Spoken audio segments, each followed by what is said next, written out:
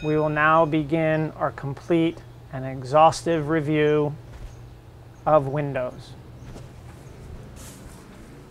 This is boring. Let's do it my way.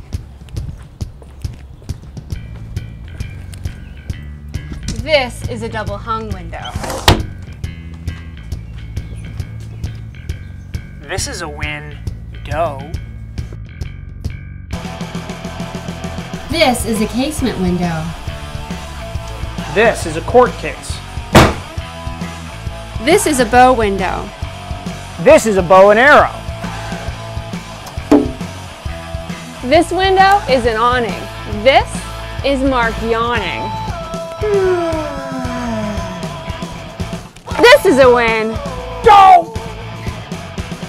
If you need new windows, go to homeadvisor.com to check out their cost guide or to find a contractor you can trust.